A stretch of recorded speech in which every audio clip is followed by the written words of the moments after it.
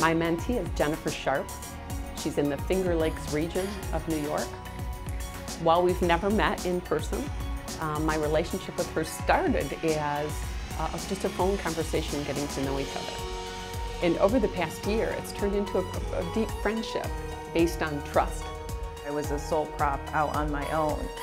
And Dawn started her uh, business as a sole prop all on her own as well. My biggest challenge is just time management. Dawn taught me ways to grow my business and spend time with my family and have that good work-life balance. It was um, discussions about infrastructure, about hiring, um, about practice management, uh, investment strategies.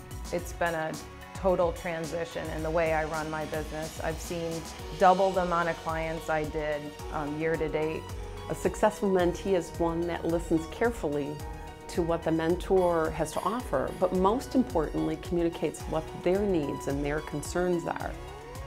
And then is willing to try new things. It gives me inspiration that I can reach the level that she's reached.